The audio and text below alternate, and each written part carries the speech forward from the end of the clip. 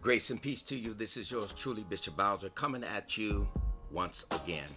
Uh, I just wanted to touch on this uh, Michael Epps and um, Shannon Sharpe um, issue, right? You know, uh, Michael Epps, you know, he went on stage and lied and said that um, uh, Shannon had uh, reached out to him to come on the uh, Club Shay Shay and he turned it down. Of course, then he started making all type of um, derogatory jokes about uh, Shannon.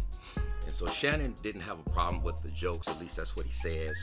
Uh, but he said he did have a problem with him lying on him because he never asked him to come on the show. And in fact, Michael Epps said that you know he you know he went in he did you know go in his DMs and wanted to get on the show, right? So he might be mad about that. But here's the thing, you know, um, many are saying that Shannon Sharpe, you know, was calling him out to a fight, say, hey, when I see you, it's gonna be on, you know.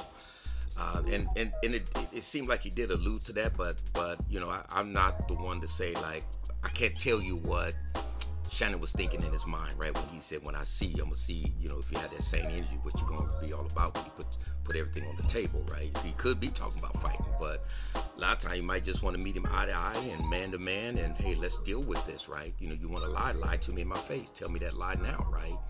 Um, but you know, it, it also could have been taken as you know he was talking about when I see you, you know, it's gonna be on, right? you know, he said if he do that again, he didn't say he's gonna do that. He said, you know, the next time if you do that again, then you know it's gonna be on, right? He said I'm not mad because you know you called me Madea and, and some um, gay name, derogatory gay names and things like that. He said, but what I am upset about is you lying. And Michael Epps did lie, right? And I, I know he did it for the attention, right? But then I saw a video that Michael Epps responded and was talking about, you know, he alluded to. And he actually, you know, he didn't say the words, but, you know, he did this and pop pow and all that kind of stuff, talking about, you know, if uh, Shannon come up on him, he's going to shoot him. And, you know, that's the thing, right? You know, you got a lot of cowards. Um, in our communities, you know, that, you know, they start a lot of stuff, you know, and then when it comes time to man up, right, and face the music and be held accountable, uh, they want to hide behind a gun, right? And we find the same thing going on in our communities. Uh, where individuals they get into it over the on the internet or at a party or club or whatever, and somebody's got to resort to guns. You know, even back when I used to gang bang, that was the same thing, right? We'd go to parties, we'd go to the park, we'd go to a club or wherever, and we we want to knuckle up. And these guys want to pull out guns and stuff on us and so forth. That's what cowards do, right? Talk a lot of smack, lie on you, do all type of things. But when it's time to face the music, you're talking about getting your gun. Uh, it's time to cut that mess out and man up, right? Um, the right thing to do would, would be to repent and say, hey, you know what? Yeah, I lied. I was just telling a joke, man. Don't take it too serious. Um, but yeah, I was lying, man, and so on. And, and if I offended you like that, then forgive me, right? Because if you offended any other group, you most definitely would have been apologizing, right? You, or, or asking for forgiveness, saying you're sorry, you didn't mean it, and all that.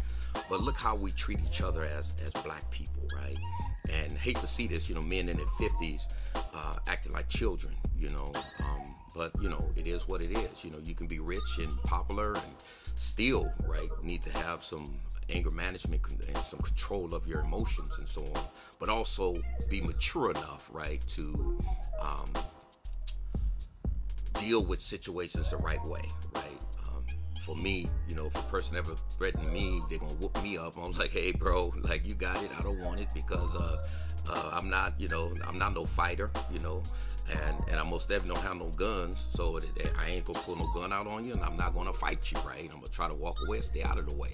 If I come somewhere and I see you there and I know you're looking for me, I'm leaving right? That's me. You know, I'm trying to avoid conflict and de-escalate things. I'm not trying to get, I ain't trying to prove how bad and tough I am and all that kind of stuff. I did that's teenager stuff. That's young adults, guys in their 20s and maybe going into their 30s. That's the kind of stuff that they should do. But when we get a certain age, we should grow up and be more mature and be like real black men and sit down and talk about our issues and work through them, right? If we can, right? I've been called uh, on the carpet. I've done a lot of things, you know. I've been called on the carpet by pastors and people in the community and had sit downs and when it submitted, you know, whatever it was, the issue they had with me, I said, okay, you know, how can we work this out?